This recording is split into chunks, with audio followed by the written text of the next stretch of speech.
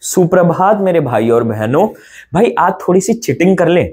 कहने का मतलब क्या है? बोल जाओ, हम चैप्टर वन कोऑर्डिनेशन कुछ भी पढ़ रहे हैं। मैं तुम्हें चिटिंग करने का बेस्ट तरीका बताऊँगा और उससे तुम्हें ना ये सारे कॉन्सेप्ट्स क्लियर हो जाएँगे। पर उससे पहले तुम्हें हमारा नारा याद है ना? एनसीआरटी है खास, बाकी सब बकवास। चाहे सीयूटी हो, चाहे बोर्ड हो। भाई एनसीआरटी के लैंग्वेज से डायरेक्ट आपके क्वेश्चन उठ के आते हैं तो इसकी बिल्कुल गहराई में जाऊँगा। लेक्चर थोड़ा मेरा हमेशा की तरह लंबा होता ही है। बट भाई, अगर आपको बिल्कुल टॉप नॉच मार्क्स लाने फुल मार्क्स लाने, अपने बोर्ड में सीयूटी में, अपने ड्रीम कॉलेज पहुँचना है मैं भी एसआरसीसी वैसे ही पहुँचा था।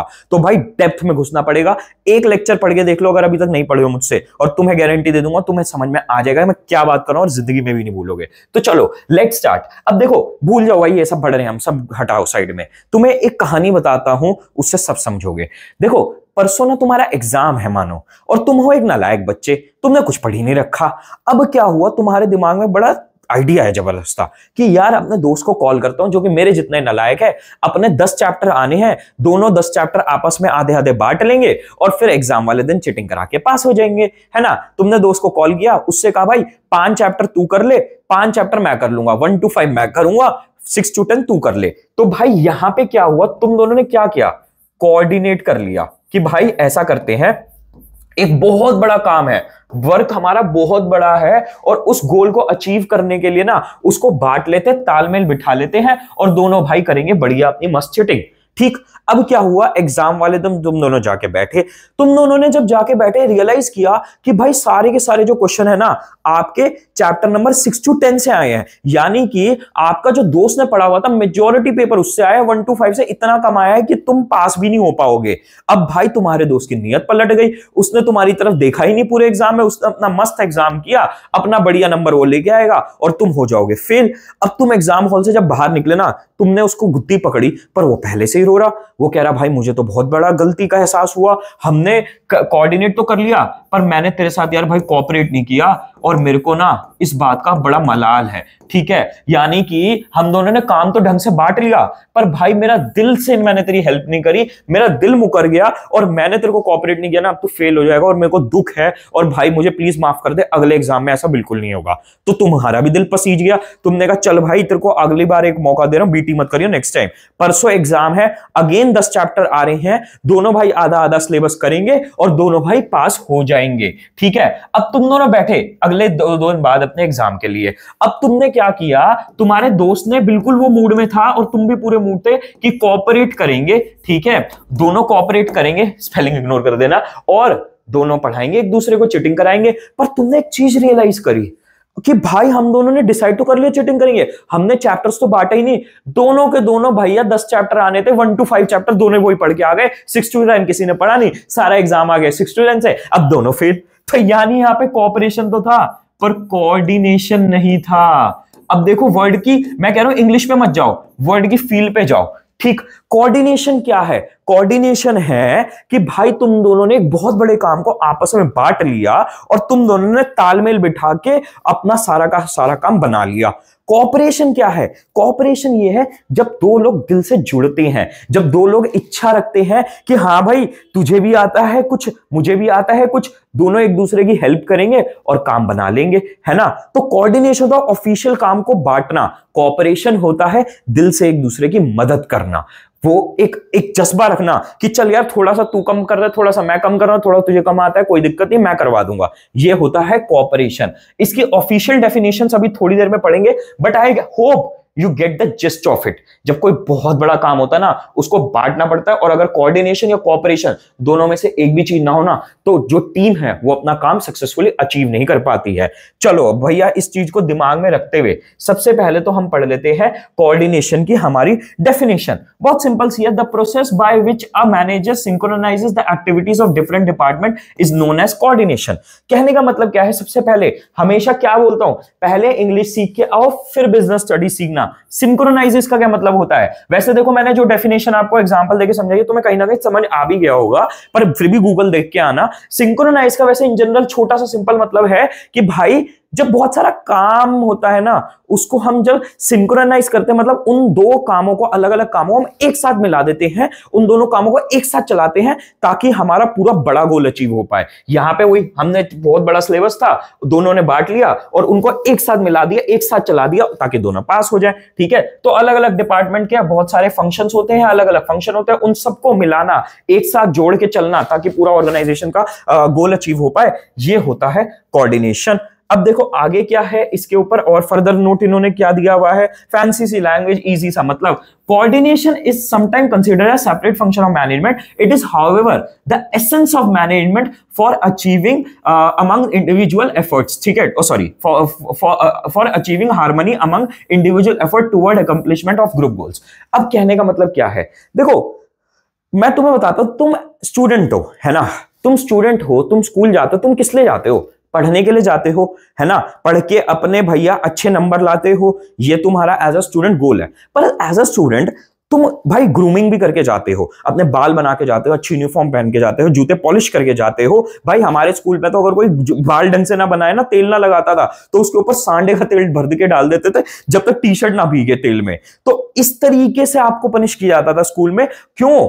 क्योंकि एज अ स्टूडेंट आपका काम पढ़ना तो है बट इस बात को भी तो समझो यार कि आपका यूनिफॉर्म में रहना, ढंग से ग्रूम्ड रहना, लोगों से अच्छे से बात करना टीचर से तमीज से बात करना, लड़ाई झगड़ा ना करना, ये भी तो स्टूडेंट होने का एक एसेंस है, आत्मा है अगर आप एक स्टूडेंट हो कि ये चीज़ें आप करो, अगर आप बहुत अच्छे नंबर भी ला रहे हो, पर आप हर किसी से आगे झगड़ा कर मारपीट कर स्कूल में तो आपका पढ़ना बेकार है, आपके अच्छे नंबर लाना बेकार है, आप ढंगे स्टूडेंट नहीं बन पाओगे। इसी तरीके से कोऑर्डिनेशन एक ऑल दो सेपरेट फ़ंक्शन माना जाता है मैनेजमेंट का कि अलग से काम करना पड़ता है। पर ये मैनेजमेंट का सोल है। आप हर स्टेप पे हर इंसान के साथ कोऑर्डिनेट करते ही करते हो। अभी हम इस चीज़ को सीखेंगे भी। उसके बिना ना आपके नहीं तो ग्रुप गोल्स अचीव हो ही नहीं सकते।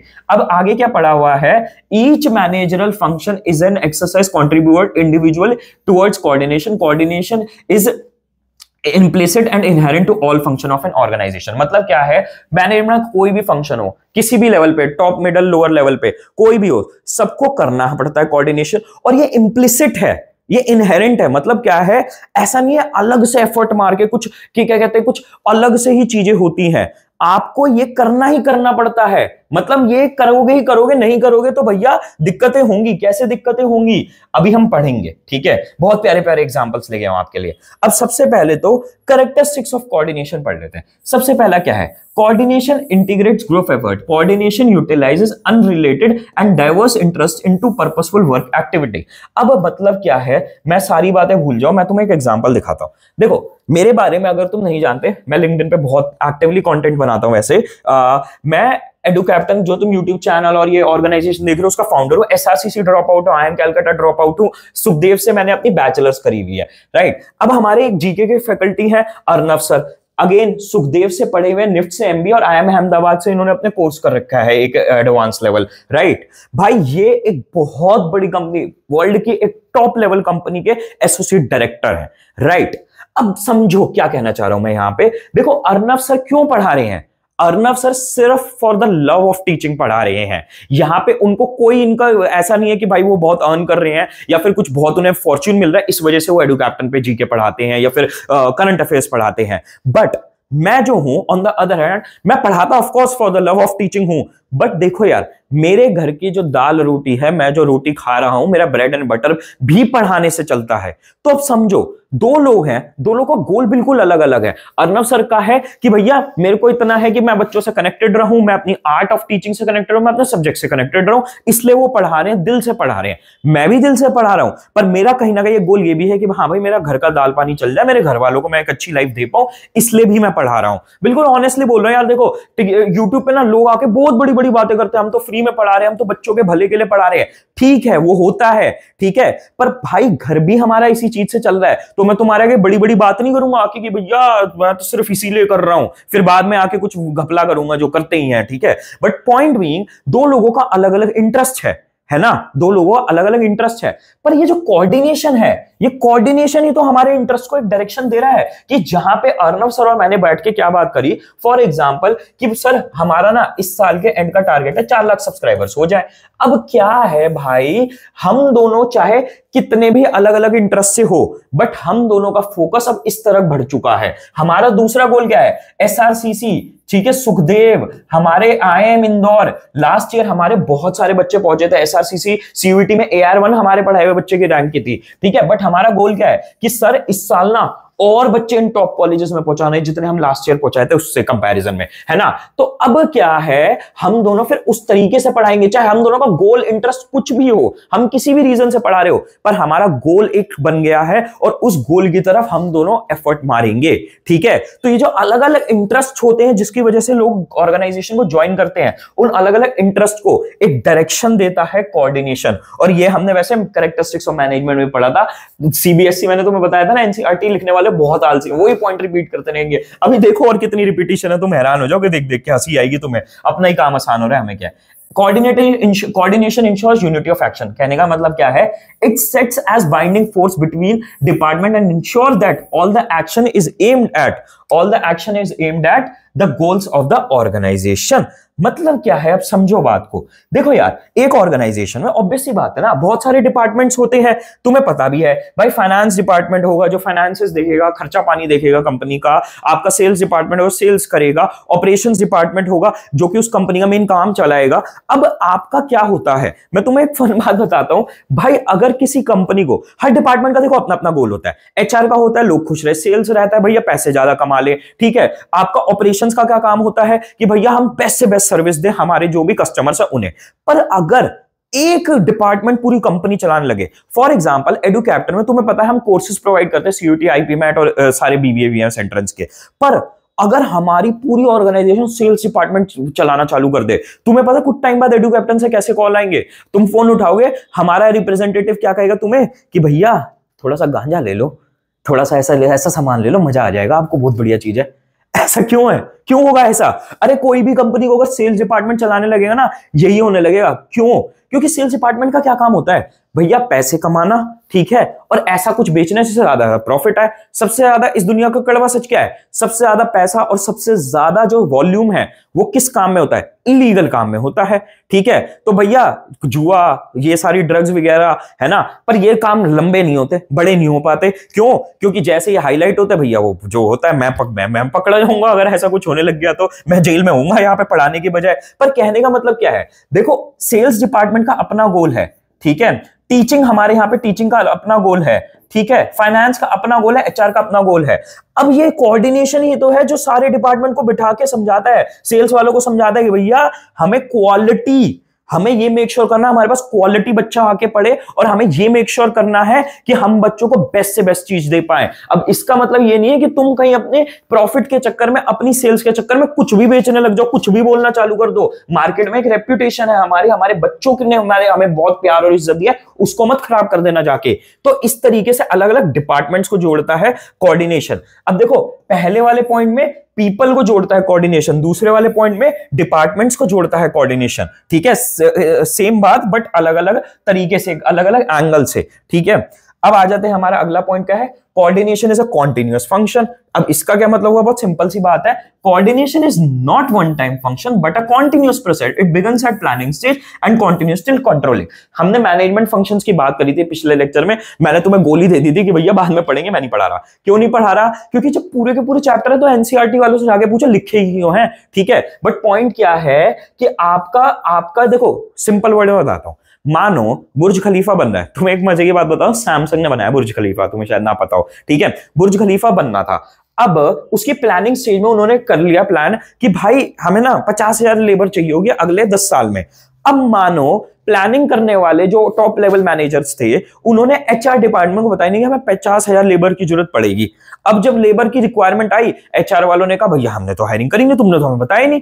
तो कोऑर्डिनेशन ही तो नहीं हुआ, ठीक है? तो आपका प्लानिंग से स्टार्ट होता है कोऑर्डिनेशन उसके बाद वो स्टाफिंग के पास भी जाना चाहिए, जो भी आपने प्लान्स बनाए स्टाफिंग को भी स्टाफ को भी पता होना चाहिए कंट्रोलिंग डिपार्टमेंट को भी पता होना चाहिए, ठीक है? इस तरीके से पूरी ऑर्गेनाइजेशन में आपने जो भी प्लान किया वो कोऑर्डिनेटेड होनी चाहिए। ये जो भी कोई भी डिपार्टमेंट काम कर रहा है, कोई भी कोई फ़ंक्शन काम कर रहा है, वो पूरी ऑर्गेनाइजेशन को पता होना चाहिए। तो एक कॉन्टिन्यूस प्रोसेस है। ये चलता रहता है। ये आपका प्लानिंग प्रोसेस स्टार्ट होता है और आगे भागता ही रहता है। ठीक है? और फ़ंक्शन ऑफ़ मैनेजमेंट वाला जब आप सारे फ़ंक्शन पढ़ लो ना, और अच्छे से ये सब कुछ क्लियर होगा। ठीक? अब आ जाते हैं हमारा coordination is an all pervasive function अरे भैया, अब तो तुम्हें हँसी आ जानी चाहिए। ये ऑल परवेसिव हमने पहले कितनी बार पढ़ लिया और अभी तो और आगे कितनी बार पढ़ेंगे। कहने का मतलब क्या है? सिंपल सी बात है भाई कोऑर्डिनेशन हर जगह लगता है। ठीक है? Coordination is required at all level of management that are interdependent nature activities of various department it integrate the effort of different department at different levels सारी बात छोड़े जो येलो में लिखा है, बस ये देख लो। होता क्या है? अलग अलग लेवल्स होते हैं अलग अलग डिपार्टमेंट्स होते हैं। हमने जो पूरा दो पॉइंट पीछे पड़े थे ना, उनको मिला के एक और पॉइंट बना दिया, ज़बरदस्ती का नया। इनको खुद वो पॉइंट मिल नहीं रहे थे, क्या बोलना है? इन्होंने दो दो तीन तीन पॉइंट मिला के दोबारा एक नया पॉइंट बना दिया। ठीक है? अलग अलग लेवल्स होते हैं। अभी लेवल का भी पॉइंट पढ़ेंगे डिपार्टमेंट्स होते हैं। एक ऑर्गेनाइजेशन में सारे जितने भी लोग होते हैं, ऊपर से नीचे, दाएँ से बाएँ, ठीक है? सब जगह ऑल परवेसिव है, हर जगह लगना है कोऑर्डिनेशन हर किसी को करना है कोऑर्डिनेशन राइट अब आ जाते हैं हम आगे। अगला point coordination is responsibility of all managers यहाँ पे क्या कहा गया है?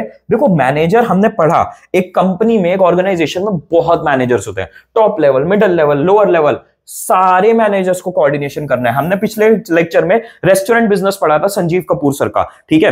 अब भूल जाओ, चलो, मैं तुम्हें स्टार्टिंग से बहुत सिंपल सी बात बताता हूँ। देखो, मानो सबसे टॉप लेवल संजीव सर ने अपना मेन्यू सेट करी। उन्होंने पूरी की पूरी एक डिश सेट करी कि भाई, मैंने तुम्हें बोला था, याद है कि मेरी फेवरेट डिश क्या है वहाँ पे? येलो चिली में। कुरकुरी भिंडी। अब उन्होंने कुरकुरी भिंडी की पूरी रेसिपी सेट कर दी कि इतनी भिंडी डलनी है, इतनी देर तेल पे पकनी है, इतना मसाला डालना है, पूरी उन्होंने डिश सेट कर दी। पर समझो टॉप लेवल मैनेजमेंट में उन्होंने डिश तो सेट कर दी, पर मिडल लेवल यानी कि जो एक्चुअल रेस्टोरेंट को लीड करने वाला मैनेजर है, उसने ढंग से उसको फॉलो नहीं किया या संजीव सर के टॉप मैनेजमेंट ढंग से वो कम्युनिकेट नहीं हुई रेसिपी तो क्या होगा? भाई एक्सपीरियंस खराब होगा कस्टमर्स का तो इसी तरीके से हर लेवल ऑफ़ मैनेजर की, हर तरीके से रिस्पॉन्सिबिलिटी है कोऑर्डिनेट करना। चाहे वो टॉप पे हो टॉप वाले को ढंग से कॉम्बिनेट करना है मिडल वाले को ढंग से मेक श्योर sure करना है कि लोअर वाले जो है वो उसको ढंग से फॉलो कर रहे हैं, नहीं कर रहे। तो आपके हर मैनेजर के अपने अपने तरीके से कोऑर्डिनेशन करना एक रिस्पॉन्सिबिलिटी है। और एक, अब देखते हैं, यहाँ पे मेरा फेवरेट एग्जांपल है। Coordination is a deliberate function सबसे पहली चीज़ इंग्लिश सीखो बीएसटी बाद में सीख के आना। डिलिबरेट का क्या मतलब होता है? मतलब कोई चीज़ जानबूझ के करना, ठीक है? मतलब कोई चीज़ कॉन्शियसली करना कि भाई, अगर कहीं भी मिस कर दिया ना ऑल दो हमने पढ़ा ऊपर इंप्लिसिट भी होता है, ठीक है? करना ही करना पड़ता है। अगर नहीं करोगे ना तो फिर काम खराब हो जाएगा। डिलिबरेट का क्या मतलब है यहाँ पे? कि भाई, वही बात रिपीटेड है। अगर तुमने जान के कोऑर्डिनेशन नहीं किया तो काम खराब हो जाएगा। कैसे होगा? बहुत प्यारा है। तुम्हें एक बड़ा फनी एग्जांपल देता हूँ मैं। देखो नासा का एक पता है स्पेसक्राफ्ट टूट गया था। एक हज़ार करोड़ रुपए का नुकसान हुआ था नासा का 20 साल पहले। और पता कितनी दूसरी गलती की वजह से हुआ था? देखो तुम्हें शायद पता हो कि यूनाइटेड स्टेट में ना, जो डिस्टेंस मेजर करते हैं, वो माइल्स में करते हैं। हमारे जैसे इंडिया में हम किलोमीटर्स में करते हैं ना, वो माइल्स में करते हैं। अब मैं टेक्निकलिटी में नहीं जाऊँगा, पर इन्होंने ना, अपने सैटेलाइट का एक पार्ट जो है ना, वो एशिया से बनवाया था। शायद रशिया किसी कंट्री से बनवाया था। अब उन्होंने क्या किया, उन्होंने अपने मेज़रमेंट सारे किलोमीटर के अकॉर्डिंग भेज दिए कि भैया, देखो ये ऐसे ऐसे किलोमीटर इस हिसाब से होना है। उन्होंने किलोमीटर लिखा नहीं, उन्होंने बस नंबर्स भेज दिए कि इतना इतना इतना इतना इतना डिस्टेंस है। अब क्या हुआ? नासा ने स्पेसक्राफ्ट लॉन्च किया। उन्हें ये चीज़ रियलाइज़ ही नहीं हुई उन्होंने किलोमीटर में भेजे हुए नंबर्स उन्होंने समझा माइल्स में है। जिस तरीके से वो नापते, उसी तरीके से स्पेसक्राफ्ट उड़ते उसकी धज्जियाँ उड़ गई। एक हज़ार करोड़ रुपए लग गए। इतने बड़े बड़े साइंटिस्ट लगे पड़े हैं। भैया इतनी उन्होंने बड़ी बड़ी कैलकुलेशन करी और किस लिए वो स्पेसक्राफ्ट डूबा? क्योंकि किसी ने किलोमीटर को एक छोटा सा फॉर्मूला एक छोटी सी मल्टीप्लीकेशन करके माइल्स में नहीं कन्वर्ट किया। समझ रहे हो? क्या था ये? कोऑर्डिनेशन नहीं था। दिल से तो मदद करना चाहते थे। कॉपरेशन तो कर ही रहे थे भैया। दोनों के बीच में कॉन्ट्रैक्ट था। पैसे भी आने जाने थे। ठीक है? पर उन्होंने नहीं किया ना तो कांड हो गया एक हज़ार करोड़ रुपए का। अब समझो, क्या लाइन है यहाँ पे? यहाँ पे क्या बोला गया? A manager has to coordinate the effort of different people in a conscious अब ये क्या कहते हैं? मैंने कोऑर्डिनेशन की, ओ सॉरी डिलिबरेशन की डेफिनेशन बताई दी। Conscious and deliberate manner consciously effort मार के करना पड़ता है, नहीं तो कांड हो जाएगा। अब सुनो, हमारा अगला टॉपिक क्या है? इंपॉर्टेंस ऑफ़ कोऑर्डिनेशन भाई, तुम सर पकड़ लोगे। तुम क्यों सर पकड़ लोगे? क्योंकि जो अभी हमने करेक्टरिस्टिक्स पढ़े थे ना, उन्हीं को कहीं ना कहीं उसी तरीके से रिपीट करा हुआ है। बस पॉइंट यहाँ पे क्या है? देखो करेक्टरिस्टिक्स क्या है कि भाई, तुमने देखा कि गाड़ी में ब्रेक है स्पीड है, ये गियर है, ये भैया अपना हैंडल है। अब इंपॉर्टेंस में तुम एक्चुअल बैठ के चला के देख रहे होगे कि सबका क्या काम है, कैसे यूज़ होता है, ठीक है? तो अरे यार, इतना डिफ़िकल्ट नहीं समझना तो सिंपल समझ लो, वही पॉइंट रिपीट हो रहा है। तुम्हें कुछ एफर्ट फालतू नहीं मारना। बस क्या है एग्ज़ाम में, अगर इंपॉर्टेंस पूछ ले तो इंपॉर्टेंस के पॉइंट ऑफ़ व्यू से लिखाना जो हेडिंग है, और अगर करेक्टरिस्टिक पूछ ले तो करेक्टरिस्टिक के पॉइंट ऑफ़ व्यू से लिखाना। बहुत सिंपल होता है, तुम बिल्कुल कंफ्यूज नहीं होगे। एक आधा सैंपल पेपर देख के समझ में आ जाएगा। ग्रोथ इन साइज़ कहने का मतलब क्या है? कोऑर्डिनेशन आपका जो है वो कब चाहिए होता है? इंपॉर्टेंट क्यों हो जाता है? कोऑर्डिनेशन इंपॉर्टेंट तब हो जाता है कि जब आपका चीज़ें बड़ी हो जाती है ऑर्गेनाइजेशन बहुत बड़ी हो जाती है, तभी तो कोऑर्डिनेशन की ज़रूरत पड़ती है। यहाँ पे लिखा हुआ है it is an important function to harmonize individual goal and organization guide through coordination ठीक, अब यहाँ मतलब क्या है? देखो, हमारा चिटिंग वाला एग्ज़ाम्पल था। भाई, तुम्हें दो लोग क्यों ज़रूरत पड़ी? तुम्हें क्यों कोऑर्डिनेशन कोऑपरेशन इतना मत्था मार रहे हो? क्यों क्यों तुम दो लोग? क्योंकि सिलेबस बड़ा है ना। अगर सिलेबस ही होता तीन चैप्टर का तो तुम दोनों आपस में बात भी नहीं करते। तुम अपना करते, वो अपना करता, दोनों भाई पास ठीक है? पर जैसे जैसे एक ऑर्गेनाइजेशन बड़ी होती जाती है, उसमें लोग बढ़ते जाते हैं। जैसे जैसे लोग बढ़ते जाते हैं तो उनमें और ज़्यादा और ज़्यादा एक अच्छे इफ़ेक्टिव कोऑर्डिनेशन की ज़रूरत पड़ती है। और मैं तुम्हें एक बात बताऊँ, मैंने फ़र्स्ट हैंड एक्सपीरियंस किया है। देखो, मैं तुम्हारे आगे टीचर हूँ, तुम्हारा बड़ा भाई भी हूँ। But as an CEO of edu captain मेरे को यह भी देखना होता है कि भाई हमारे पास जो 10-12 लोग ऑर्गेनाइजेशन में काम कर रहे हैं ना, जब दो लोग थे और आज 10-12 लोग हैं ना, मेरे को नानी दादी आ जाते याद आ जाती है, क्योंकि हम ऐसी छोटी छोटी गलतियाँ कर देते कभी कभार। मैं तुम्हें एक बड़ा फनी सा इंसिडेंट शेयर करूँ। क्या हुआ? भाई, हमने ना एक वीडियो प्लान करी। जो बंदा हमारी वीडियो पोस्ट करता ना, उसकी तबियत खराब थी तो वो ना मीटिंग से बीच में जल्दी चला गया। अब भूपेंद्र सर और मैंने वीडियो पूरी प्लान कर ली टाइटल थंबनेल टॉपिक सब डिसाइड कर लिया। पर जब वीडियो पोस्ट करने की बात आई ना तो रात को वीडियो पोस्ट नहीं हुई। मैं कल सुबह उठ के देख रहा हूँ, भैया वीडियो नहीं पोस्ट हुई, मैंने विनीत को कॉल किया, वो कह रहा भैया, आपने बताया ही नहीं। तो ऐसी बेवकूफ़ वाली छोटी छोटी गलतियाँ हो जाती हैं। तो ये होता है भाई ग्रो होती है ना ऑर्गेनाइजेशन इतने लेवल तक ध्यान देना पड़ता है। अब क्या है? फ़ंक्शंस डिफरेंशिएशन भाई सेम पॉइंट है, मैं नहीं अब तुम्हें पढ़ा था भाई, क्या है रिपीट करवाओगे मेरे से? चलो, थोड़ा सा रिपीट कर देता हूँ। Functions of an organization are divided into different departments divisions है ना? डिपार्टमेंट डिवीज़न में बटे हुए होते हैं और किसमें बटे हुए होते हैं? और सेक्शंस में बटे हुए होते हैं।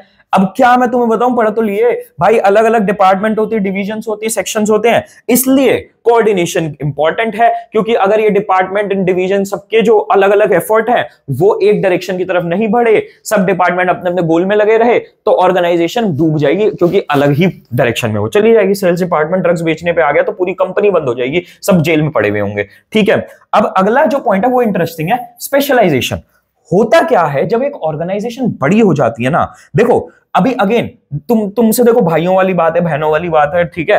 तुम लोगों को एक बात बोलता हूँ। अभी हम लोग बहुत छोटे हैं कैप्टन एक छोटी सी ऑर्गेनाइजेशन है। पर जब एक ऑर्गेनाइजेशन बड़ी होती है ना, उसके पास बहुत अलग अलग टीम्स आती है। अब जैसे फॉर एग्जांपल हमारे में एचआर कोई नहीं है, ठीक है?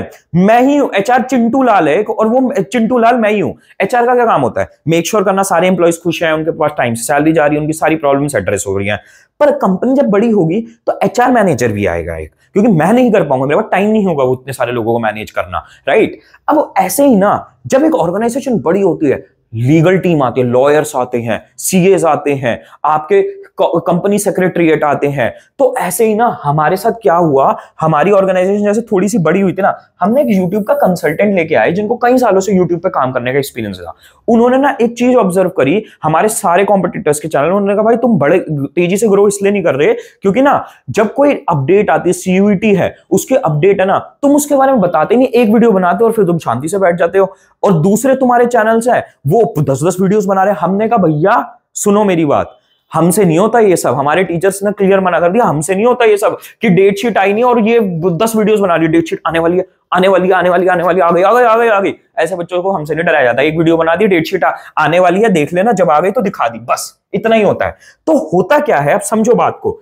स्पेशलिस्ट आ जाते हैं एक ऑर्गेनाइजेशन में जो बड़ी होती है। Specialist usually think that they are the only they only are qualified to evaluate जज and decide according to their professional criteria अब स्पेशलिस्ट क्या होते हैं? उनकी बंदर बहुत ईगो होती है, वो बहुत पढ़ लिख के बहुत एक्सपीरियंस के बाद स्पेशलिस्ट बने होते हैं। तो उनको लगता है कि भाई, मेरा ही क्राइटेरिया ठीक है है ना? तो होता क्या है? They do not take advice और suggestion from others in matters of pertaining to their area of specialization ठीक है? वो किसी और से सलाह ही नहीं लेते कि भैया क्या करना है, उनके उनके मैटर में क्या करें, वो अपनी अपनी में चलते धुन में। This often leads to conflict among different specialist as well as other others in the organization तो इसी वजह से क्या होता है? इस ईगो फाइट में ना क्या कहते हैं, सब ऑर्गेनाइजेशन में अलग अलग लोगों से और आपस में वो भिड़ जाते हैं और फिर कोऑर्डिनेशन की तभी ज़रूरत पड़ती है कि भैया करे कैसे चीज़ों को देखे कैसे। अब हमारे केस में हमारे टीचर्स भी भाई एक्सपर्ट है वो कह रहे हैं हम दस साल से पढ़ा रहे वो, वो कह रहे हैं कि मैं भी तो पाँच साल से यूट्यूब पे चला रहा हूँ लोगों के चैनल तो भाई अल्टीमेटली फिर क्या हुआ? हमने ढंग से कोऑर्डिनेट नहीं किया था। एक दूसरे को गोल्स क्लियर नहीं थे एक दूसरे के। तो अल्टीमेटली हमें स्पेशलिस्ट को कंसल्टेंट को हटाना पड़ा क्योंकि भैया ऑब्वियस बात है हमारी ऑर्गेनाइजेशन तो मेरी चलेगी ठीक है? बट पॉइंट भी स्पेशलिस्ट आपस में बहुत अड़ते हैं ईगो बैटल हो जाता है। और अगर कोऑर्डिनेशन ना हो ना तो ईगो बैटल में बहुत दिक्कतें हो जाती हैं। तो ये स्पेशलिस्ट जब ऑर्गेनाइजेशन में आने चालू हो जाता है ना तो और ज़्यादा कोऑर्डिनेशन की ज़रूरत होती है ताकि किसी की ईगो ना हर्ट हो जाए। ईगो हर्ट हुई तो झगड़ा होता है। ठीक है? अब management in the twenty first century कुछ नहीं है, इससे कुछ नहीं आना।